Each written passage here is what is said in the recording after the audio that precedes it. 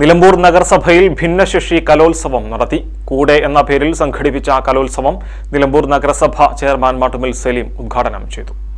നിലമ്പൂർ മുനിസിപ്പാലിറ്റിയിലെ ഭിന്നശേഷി മക്കളായ എല്ലാ കുടുംബത്തിന്റെയും ഏകദേശം ഒരു കണക്ക്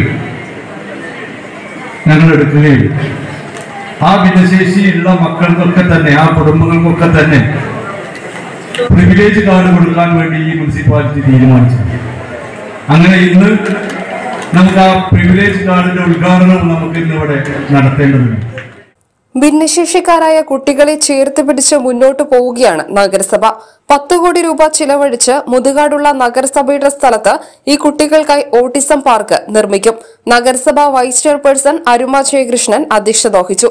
ക്ഷേമകാര്യ standing committee chairperson U K Bindu വികസന standing committee chairman P M Basheer വിദ്യാഭ്യാസ standing committee chairman Scaria Kinanthoppil ആരോഗ്യ standing committee chairman Kakkadan Rahim പൊതുമരാമത്ത് standing committee chairperson Saiji Mol കൌൺസിലർമാരായ P Gopalakrishnan Ismail Eranhikkal M T Ashraf Sanila Daisy Chacko Swapna I C D S supervisor Saleena Sufairath എന്നിവർ സംസാരിച്ചു.